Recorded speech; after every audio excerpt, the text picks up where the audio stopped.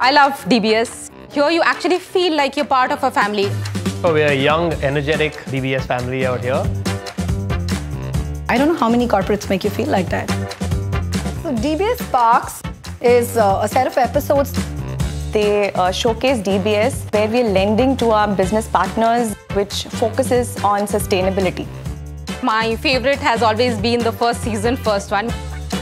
I can speak about an episode where Sachin actually uh, lit up a whole stadium where uh, we use solar power.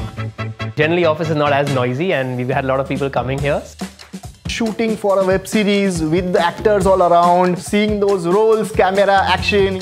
We are going to be in the same episode as uh, Sachin, even if we are like in the background. Probably the best episode is going to be the one that is being shot right now. So I'm really looking forward to seeing it.